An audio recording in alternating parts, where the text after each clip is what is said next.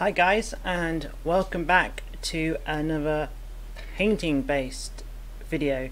Now the last one was uh, very popular and I got a lot of uh, likes and loves for that so I'm really happy. So I'm going to return with another video. So if you know me, which is a good chance that you do, and you've seen my work around on other platforms like Instagram or um, Twitter, I like ultramarines. Uh, it's in the description.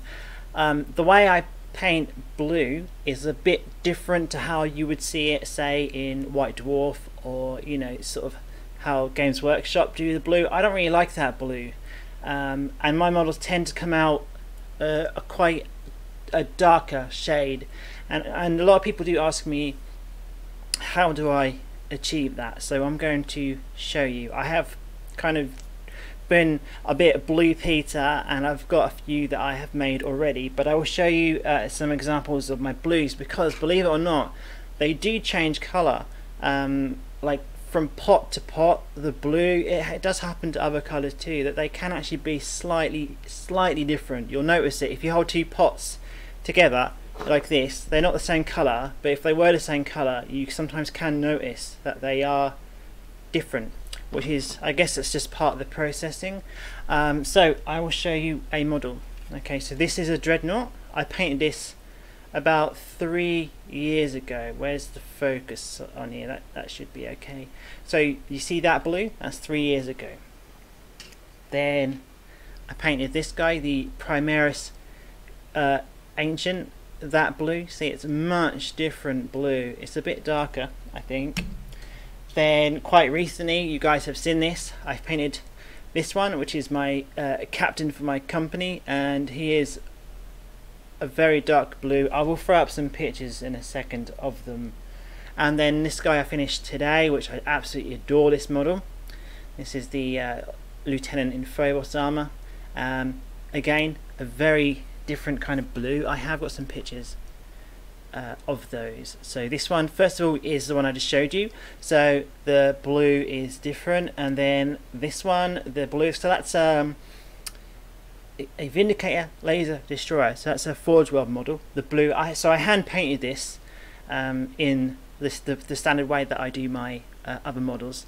And then finally there is Captain Fabian. So as you can see, it's a, it's a much different blue. I've got some old old models here so let me get rid of that. These are super old models. So these are my first uh, Ultramarines that I did. So I had already done about just near a year of painting Space Wolves and then I changed over. So as you can see this is from the um, Betrayal at Calth box set that came out yeah about four years ago. So it's a Mark IV and then this one is just a normal tactical marine. I've actually, I mean, I don't think you can see, but I've actually, I practiced um, the scratches. So some of my models, I don't think I've got any to hand. Uh, I do actually. So it may not show up, but there's scratches, or you, you can just see scratches on the armor. I did practice. That's one thing I recommend if you're trying to learn a new um, painting style or technique these odd models are perfect. And we have to call these something.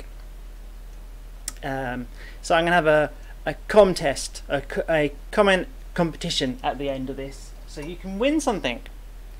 So let's start from the beginning. So my models, I always prime them in a light grey. So it was actually accidental. So I've never ever liked um, priming in black. It's not been my thing. So my first um, can of primer was white and uh, it was cheap as well. I didn't, you know, about five pounds.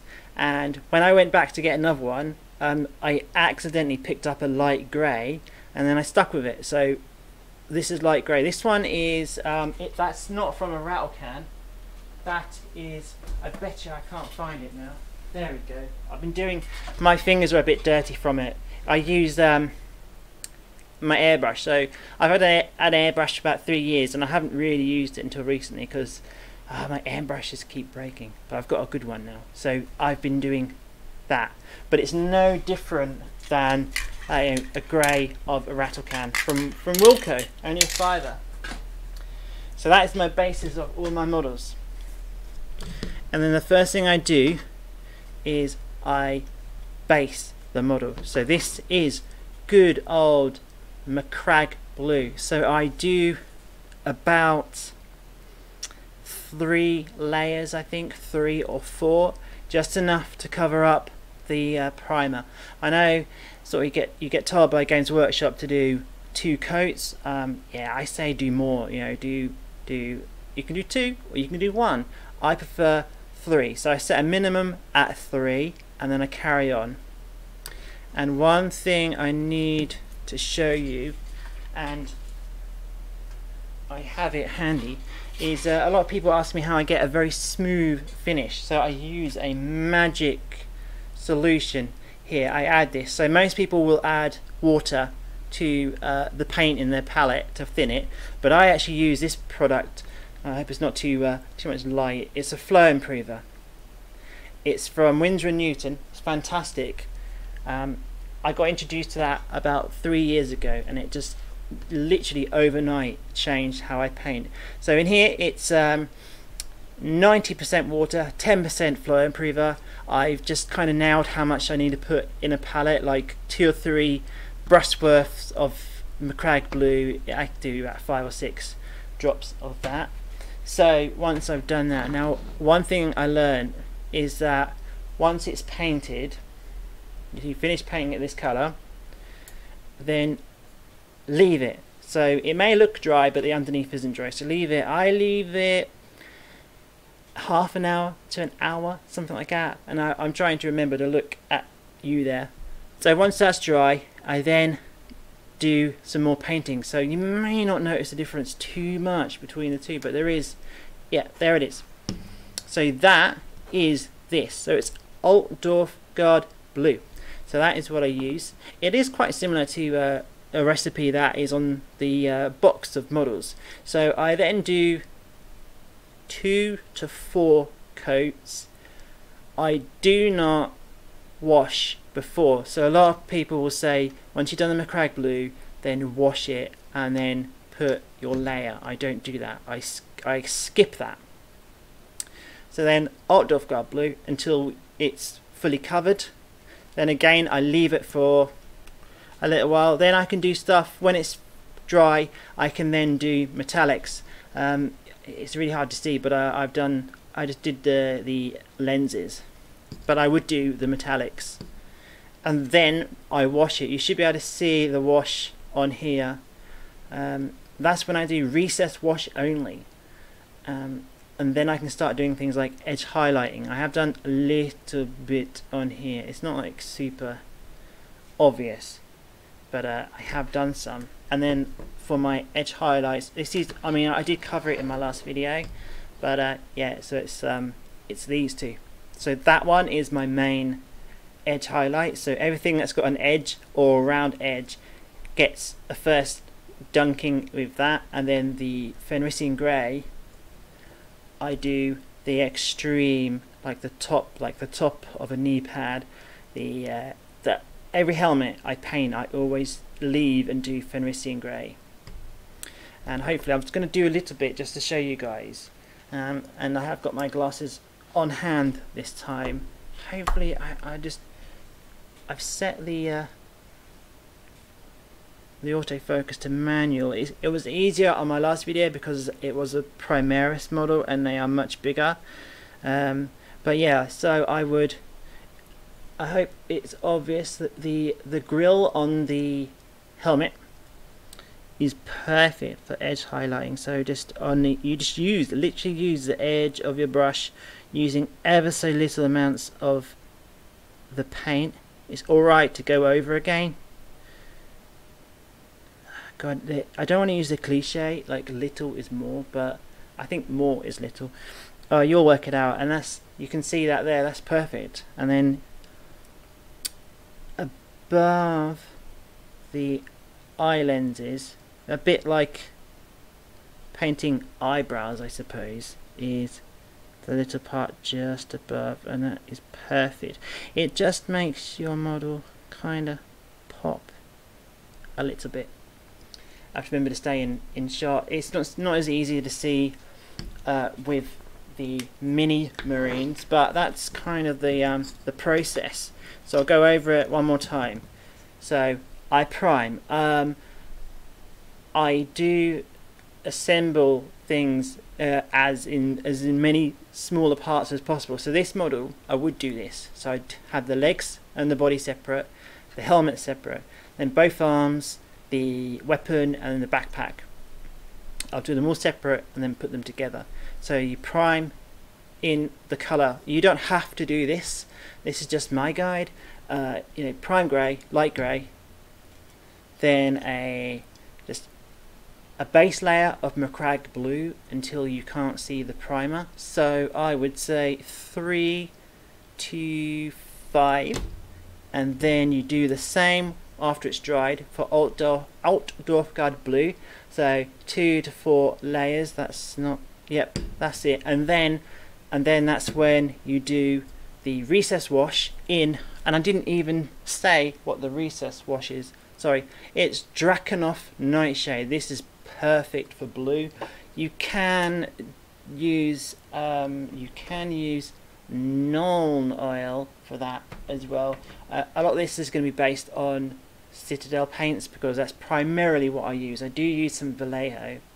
Uh, so you get to that point and then you can just chuck on your highlights um, and yeah this stage metallics so not even that yeah, that stage. Sorry, I'm confusing myself. Yeah, so once you've put the layer down and it's dried, then you can do the the uh, the metallic. So if uh, if they've got the Aquila on the chest, some gold, uh, you know, silver, um, and then like I say again, I use this product Flow Improver. I cannot recommend that enough to people, and I have done that and people have sent me messages saying, "Wow, you was right. It's really good. It's really good. It can be a bit expensive. This year, this was seven pound fifty five. I think I got it for about seven quid from eBay. Um, art supply shops will sell.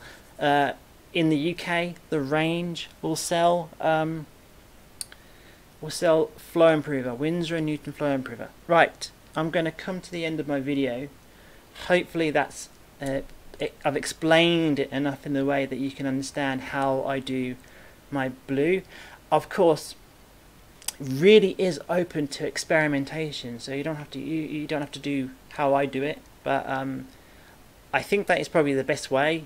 There are other easier ways, and I said a competition. So we have our little marines here, and they are quite small compared to their Primaris brethren, what name should we give these guys? Are we going to call them Mark 7 or Mini Marines, Classic Marines? I want you guys to come up with uh, inventive, funny names for these guys. And um, the one that makes me giggle the most, I'm going to award you or give you this guy. He is an Eldar Farseer. So it's a nice model. I got this given this, but I don't really do Eldar, so I'll, I'll give this away. So think of a, a name for our old, old, old style Marines, and I will pin the most funniest and the one that has the most likes. I remember that. Like the ones you like, and then by the time of my next video, which will be the this coming week, I will uh, just say it's. I'm filming this on the 23rd end of the week I will pick that and then the winner I will contact you and you will be getting this rather handsome guy. Um, right, and I just chuck it on the floor. That's very me and forgive the background, I still not got a background. Um, so I have Patreon and I have two patrons already so I'll give you your shout outs. So Plutonium OD and Tim's Hobby Corner, you guys really help. If you, the viewer, would like to help the channel then of course please check out the link in the description to my Patreon. There will be links there too for um, Instagram and Twitter and my Discord server. It'd be great to see you guys. You can come and chat to me, and that will be fun. And I'm also looking to get a screen so you don't see my beautiful washing machine. And then this camera here. Um, it's been suggested that I can get rid of it. I'm trying not to knock my mic. It's right here. Uh, but I actually want to keep that, but I want to upgrade it to one of these cameras. So uh, any help, I'm not begging, but any help would be fantastic. Um, I hope you have found this video to be um, entertaining and informative. And if you have any suggestions for future content, then do feel, you know, feel free to uh, direct message me on you know social media or in the comments and I will uh, you know gladly take any suggestions um, and that's me done. So I will catch you in the next video. Thank you for watching and liking and subscribing and sharing and happy hobbying